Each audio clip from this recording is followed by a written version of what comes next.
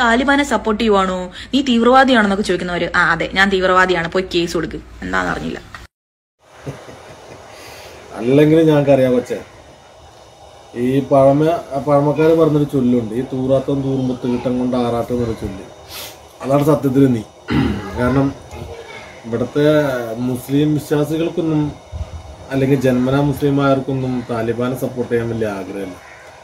പക്ഷെ നീ അങ്ങനെ നീ ഒരു ക്രിസ്തുഭാഗത്ത് നിന്ന് മാർഗം കൂടി മുസ്ലിമായതാണ് അപ്പോൾ നിനക്ക് അതുണ്ടോ താലിബാനെ സപ്പോർട്ട് ചെയ്യാൻ? തോന്നുന്നു കാരണം നീ മതം മാറിയത് അത്രത്തോളം നിന്റെ ഉള്ളിലൊരു തീവ്ര സ്വഭാവം സ്വീകരിക്കാൻ തയ്യാറായിട്ടാണ്. അല്ലെങ്കിൽ നിന്നെ ഒരു കാമുകൻ ഉണ്ടാവും അല്ലെങ്കിൽ നിന്നെ പ്രണയത്തിലോട്ട് നടിച്ച് ഈ ഒരു മതത്തിലോട്ട് കൊണ്ടുവന്ന ഒരാളുണ്ടാവും.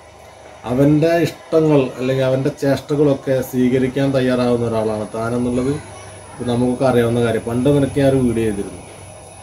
അതോടുകൂടി വിട്ടതാണ് നിന്നെ. പക്ഷെ നീ ഇപ്പോൾ വന്നിട്ട് ഈ ഡയലോഗ് അടിച്ചപ്പോൾ എനിക്ക് വലിയൊരു സുഖം തോന്നിയില്ല. അപ്പോൾ ഞാൻ ഒന്ന് പറഞ്ഞ് ഒന്ന് പറഞ്ഞു തരാമെന്നുള്ളൂ വേറെ ഒന്നുമല്ല ഈ ശാന്തിയേക്കാൾ വലിയ സോറി മൂർത്തിയേക്കാൾ വലിയ ശാന്തിയുള്ള കാലമാണ് ഈ നാട് എന്ന് പറയുന്നത് അല്ലെങ്കിൽ ആ ഒരു അവസ്ഥയിലാണ് നമ്മൾ കടന്നു പോകുന്നത് അപ്പം നിന്നെ പോലത്തെ കുറേ സാധനങ്ങൾ ഞങ്ങൾ കാലിൽ തട്ടാറുണ്ട്.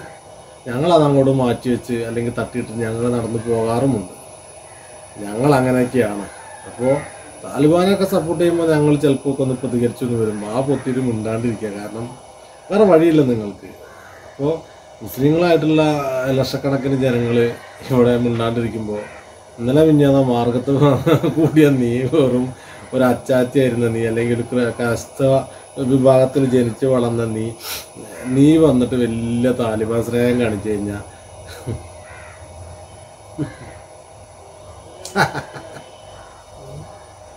ഒന്ന് പോയടി കൂടെ